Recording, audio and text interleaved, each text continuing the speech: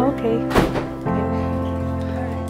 So, started last week. They noticed that he was a bit unsteady in his pelvic limbs. And so she took him to the doctor on Saturday, in which they did radiographs and they suspected arthritis. He has still continued to go down. Okay.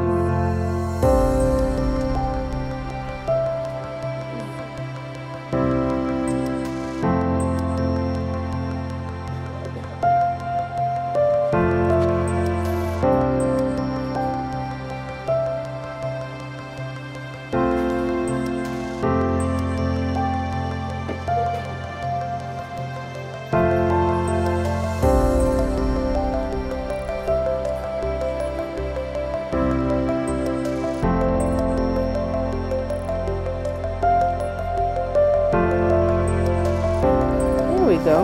He's trying. He's trying.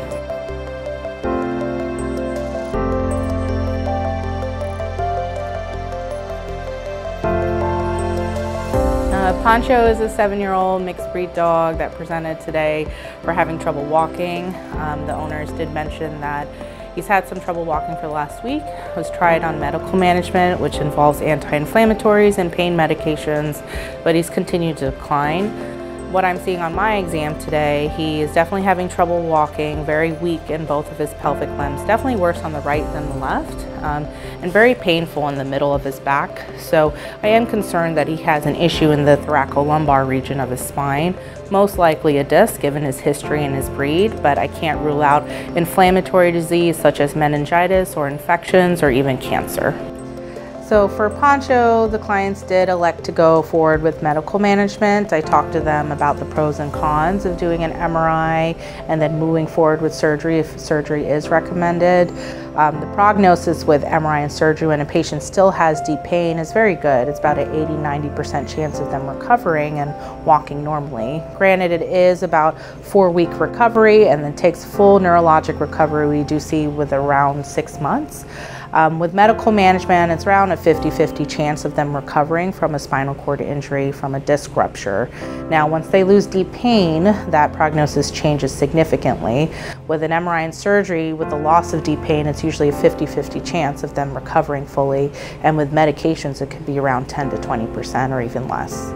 So I'm hoping with Pancho's case that he will be walking again. I did change his therapy around with the different anti-inflammatories and additional pain medications and we did teach the clients on how to express his bladder but I'm hoping that he'll regain that bladder um, function again once he starts walking.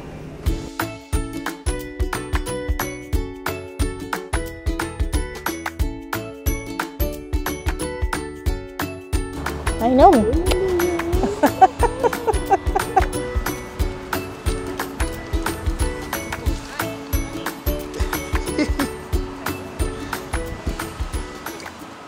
Uh, Remy is a seven-year-old female spayed mixed breed dog that is presenting to me today for having difficulty walking. Um, based on her exam, today I am concerned that she has cerebellar disease. The clients described that within the last 24 hours, they noticed that the dog was very wobbly and shaking its head back and forth.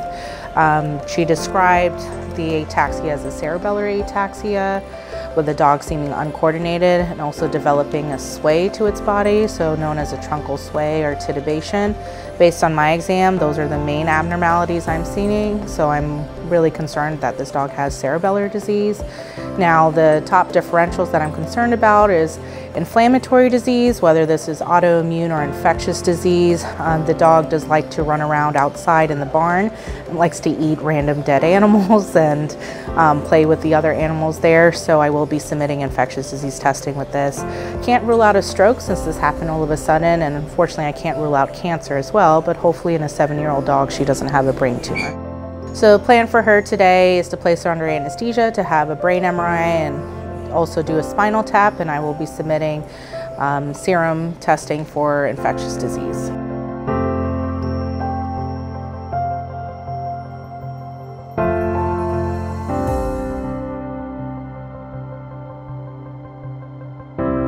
So, so far majority of the scans were normal on this dog, but I am seeing some contrast enhancement. I am concerned it may have some meningitis and cerebellitis at the same time. Um, so the meninges is the outer layer of the brain.